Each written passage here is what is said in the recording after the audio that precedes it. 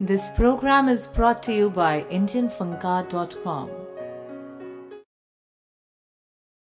आदाब दोस्तों, मैं इंडियन फनकार के मंच से महबूब आलम सूरत से बोल रहा हूँ मैं शुक्रिया अदा कर रहा हूँ अभिषेक जी का कि जिन्होंने मुझे इतने बड़े मंच पे आने का मौका दिया और आपसे मिलने का मौका दिया शायरी और शेरों के ज़रिए मैं अभिषेक जी का तहे दिल से शुक्रिया अदा कर रहा हूँ कि उन्होंने मुझे इस मंच पे आज इनवाइट किया। मेरी आपसे गुजारिश है कि इस मंच पे जितने भी फ़नकार आ रहे हैं मेरे साथ में, उन तमाम को लाइक करें। आइए मैं अपनी बात को एक मतले और चंद शेर से आपके सामने शुरू कर रहा हूँ। मतला यूँ कहा कि सबरी के बेर खा के ये हमको दिया सबक। चलना सिखाया, राह हमें पत्थर नहीं रखा। सबरी के बेर खा के ये हमको दिया सबक। चलना सिखाया, राह में पत्थर नहीं रखा। आज इसलिए तो लोगों के मन में बसे हैं वो। आज इसलिए तो लोगों के मन में बसे हैं वो। मानव के बीच राम ने अंतर नहीं रखा। आज इसलिए तो लोगों के मन में बसे हैं वो। कि मानव के बीच राम ने अंतर नहीं रखा। और एक मतला और दो तीन शेर देखिए कि मुलाकातों से कायम कोई रिश्ता हो ही जाता है। मुलाकातों से कायम कोई रिश्ता हो ही जाता है, अगर दिल से मिले तो गैर अपना हो ही जाता है। मुलाकातों से कायम कोई रिश्ता हो ही जाता है, अगर दिल से मिले तो गैर अपना हो ही जाता है। और ये शेर बतौर ख़ास अभिषेक जी के लिए हैं वह अक्सर फैसले इंसान की नीयत पे करता है। वह अक्सर फैसले इंसान की नीयत पे करता है। इरादा नेक हो तो काम अच्छा हो ही जाता है। वह अक्सर फैसले इंसान की नीयत पे करता है। इरादा नेक हो तो काम अच्छा हो ही जाता है और बड़ों में बैठकर आलम, सलीका सीख लेंगे हम।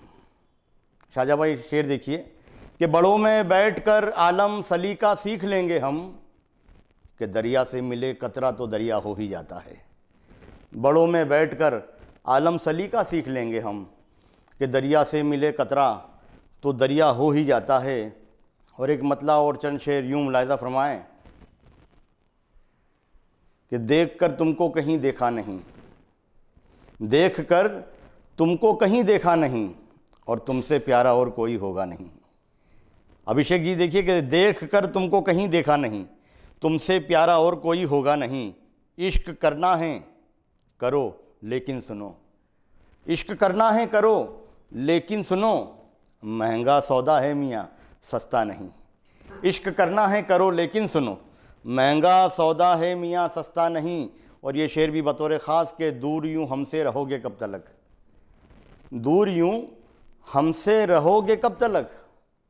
पास आ जाओ, कोई ख़तरा नहीं। दूर यूँ हमसे रहोगे कब तलक? पास आ जाओ, कोई ख़तरा नहीं। और आज भी ऐसे कई मकान हैं, इस शेर के ज़रिए मैं आप तक बात पहुँचाने की कोशिश कर रहा हूँ, कि दूर यूँ हमसे रहोगे कब तलक? पास आ जाओ, कोई ख़तरा नहीं। हाय, तरक्की याफ्ता इस दौर में। हाय, तरक्की याफ्ता इस दौर में। ऐसे भी घर हैं जहाँ पंखा नहीं।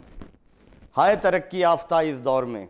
ऐसे भी घर हैं, जहाँ पंखा नहीं, और ये शेर जो मेरी जान भी है और मेरी पहचान भी है, बतौर ख़ास इस पर मैं तवज्जो चाहूँगा और आपकी दुआएँ चाहूँगा कि ये तिरंगा ये तिरंगा तो हमारी शान है। ये तिरंगा तो हमारी शान है, ये फ़कत कपड़े का एक टुकड़ा नहीं। ये तिरंगा तो हमारी जान है। ये फ़कत कपड़े का एक टुकड़ा नहीं, और एक नज़म मैं पेश खिदमत करना चाहता हूँ आपकी। नज़म का उनवान है, अभिषेक जी चलो बन जाए हम इंसान फिर से। नज़म कुछ यूँ है कि खुली आँखें तो पहले माँ को पाया, खुली आँखें तो पहले माँ को पाया, खुशी से माँ ने सीने से लगाया। बना लगते जिगर अब्बू का अपने। बना लगते जिगर अब्बू का अपने। हुए सजने वहाँ से लाखों सपने। हुआ झगड़ा शुरू ये है हमारा। वही लगते जिगर आँखों का तारा। सिखाया माँ ने सच्चाई पे चलना। सिवा रब के किसी से भी ना डरना। कहा दादा ने, याद आदाब रखना। निशानी बुज़ुर्गों की साथ रखना। सिखाया बाप ने चलना संभल कर। लगा चलने तो दौड़ा वो मचल कर। नसीहत सुन ली उस बच्चे ने सबकी।